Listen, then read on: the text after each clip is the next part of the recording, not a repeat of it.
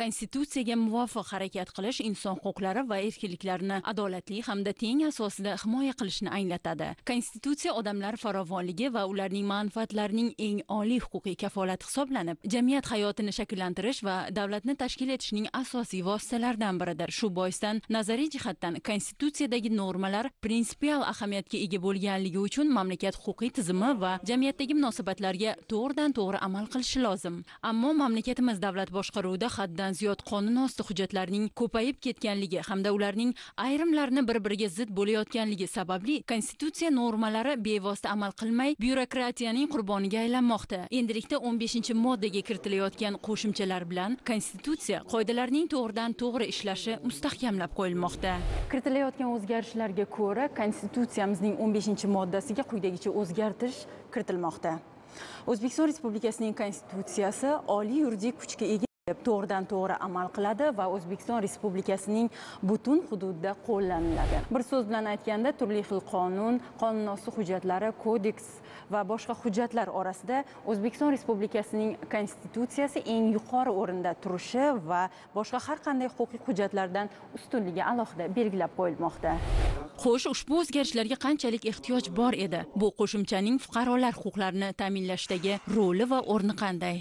Birinchidan konstitutsiyani o'zida bunaqa normani belgilanishi mamlakatni keyingi taraqqiyot istiqbolda umuman bizni yurisprudensiyamizda qonunlarni qabul qilishimizda e, umuman huquqiy siyosatimizda o'zgacha bir yondashuv bilan to'g'ridan to'g'ri ishlaydigan qonunlarni shu jumladan konstitutsiyaning normalari ham to'g'ridan to'g'ri ishlasin degan qabilda ish ko'rishimiz haqida gap ketyapti. Oxirgi yillarda bu hech kimga sir emaski idoraviy me'yoriy hujjatlar qonun osti hujjatlarni ko'payib ketganligi ularni e, ayrim holatlarda shunday holatlar bo'ladiki bu bir biriga zid keladigan normalar shu bilan birgalikda fuqarolar huquq va erkinliklarini bevosita e, qolish ehtimollari ham bo'lib kelmoqda. Shuning uchun ham bu holatlarni fuqarolarni huquq va erkinligini ta'minlashda hech qanaqa monelik hech qanaqangi qarshiliksiz ular o'zlarini manfaatlarini amalga oshirish uchun faqatgina konstitutsiya va qonunga tayanishi masalasi kun tartibida turgani uchun ham bu normani kiritishga biz katta ehtiyoj sezdik undan tashqari yana bizda keyingi jarayonlarimizda umuman huquqiy mexanizm qonun ijodkorlik tizimi ham shunga monand ravishda o'zgarishi kerak. Oliy majlis qonunchilik palatasi senat va e, vazirlar mahkamasi tomonidan qabul qilinadigan hujjatlar vazirliklar tomonidan qabul qilingan hujjatlarda avvalo mana shu konstitutsiyaning normalari qonunlarning normalarini o'zida aks ettiradigan bevosita amal qilishga imkon yaratib beradigan mexanizm yaratish bu bizni oldimizda turgan juda katta bir mana shu o'zgartirishni o'zi bir katta bir bizga yo'l ochib beryapti. Shuning uchun ham o'ylaymanki bu juda ham muhim ahamiyatli va undan tashqari fuqarolarimizni huquq va erkinliklarini yana bir marta qo'shimcha kafolatlash uchun ham bu kerak va e, kelajakda buni xalqimiz to'g'ridan to'g'ri qo'llab quvvatlaydi albatta mazkur normani kiritilishiga ehtiyoj bormi degan savol tug'iladi. Chunki biz amaldagi tahrirdagi konstitutsiyamizda konstitutsiyani oliy yuridik kuchga ega ekanligi uni demak e, barcha normativ huquqiy hujjatlar e, konstitutsiyaga muvofiq bo'lishi kerakligini belgilab qo'yganmiz. Biroq konstitutsiya normalarini bevosita qo'llanilishi demak uni barcha mana shu huquqiy tizimdagi normativ huquqiy hujjatlar uchun asos ekanligini isbotlab beradi.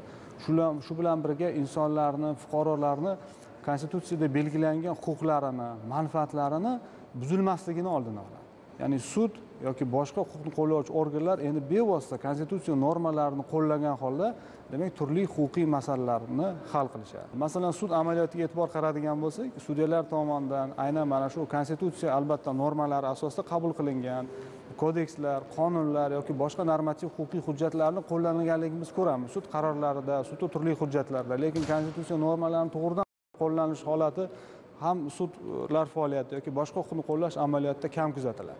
Aynan mana shu normani kiritilishi endi konstitutsiyani bevosita normalarini huquqni qo'llash amaliyotida qo'llanishiga demak xizmat qiladi. Konstitutsiyadagi normalar ularni qo'llash tartibini belgilovchi va rivojlantiruvchi alohida qonunchilik hujjatlarining mavjudligi yoki mavjud emasligidan qat'iy nazar to'g'ridan to'g'ri amal qilinishi lozim. Turli qonun kodeks va boshqa hujjatlar orasida konstitutsiya eng yuqori o'rinda turishi hamda boshqa har qanday huquqiy hujjatlardan ustunligi alohida belgilab qo'yilyapti. Bu esa konstitutsiyadagi normalar ularni qo'llash tartibini belgilovchi va rivojlantiruvchi alohida qonunchilik hujjatlarining mavjudligi yoki mavjud emasligidan qat'iy nazar to'g'ridan to'g'ri to'g'ri amal qilishiga muhim omil bo'ladi.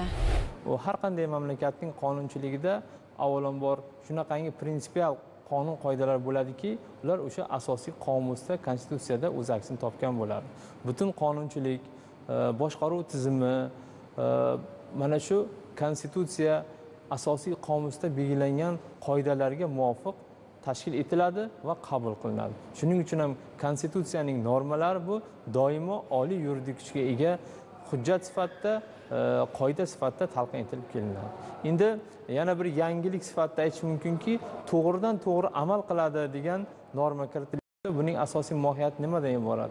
Bu shunday narsaki ijtimoiy munosabatlarda konstitutsiya normalarini hech qanday moneliksiz hech qanaqa yana qo'shimcha qonun osti hujjatlarsiz amal qilishi kerak degan mazmun beradi bu. Mana shu narsani biz e, hozirgi kundagi o'zbekiston respublikasida e, umuman qonunchiligimizda huquqiy siyosatimizda muhim bir qoida sifatida prezidentimiz tashabbusida belgilanyaptiki jamiyatda qonun ishlasin konstitutsiya ishlasin.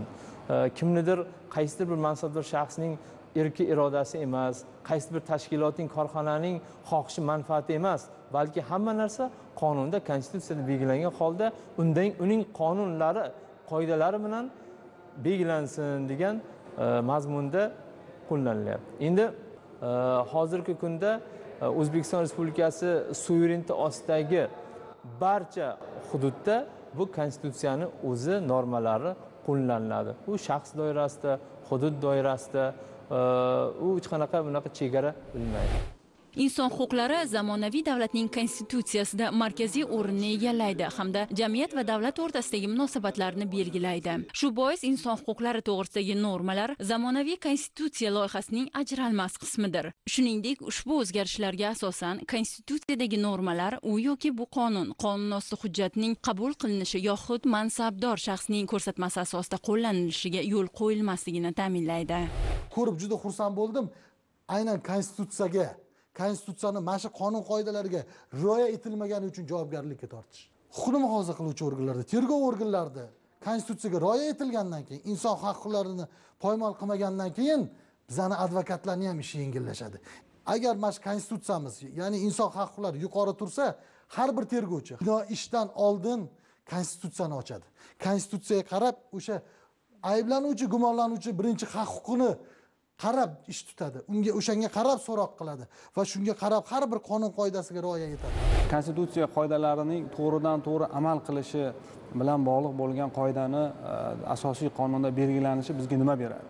Birinchi o'rinda biz e, bugungi kunda amaliyotga qaraydigan bo'lsak demak aynan konstitutsiya normalari orqali e, huquqiy amaliyotda sud amaliyotida qaysidir bitta ishlar hal qilinayotganligi bilan holatlar juda yam kam ya'ni aytaylik huquqni qo'llovchilar bevosita konstitutsiyaga amal qilishi demak uni o'sha to'g'ridan to'g'ri qo'llanilgan qonun darajasiga yetishiga bu albatta xizmat qiladi.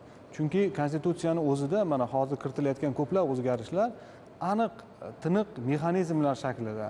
Ya'ni endi uni biz qonunlar yoki boshqa qonunos hujjatlarida alohida ijro mexanizmlarini yaratishimiz shart emas.